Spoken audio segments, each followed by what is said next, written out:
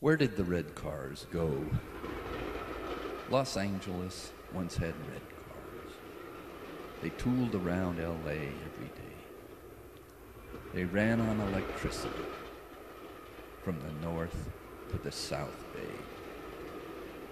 They carried people from home to places of fun and games.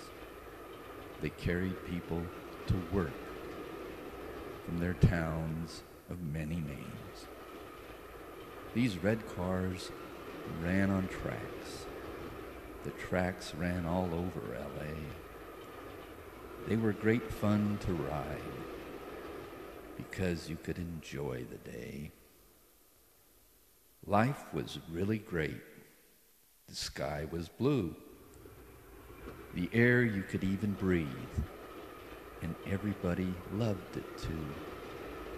Life was good in LA. It was fun to live in such a town. People came from all over to live and love and be a clown. The red cars one day vanished.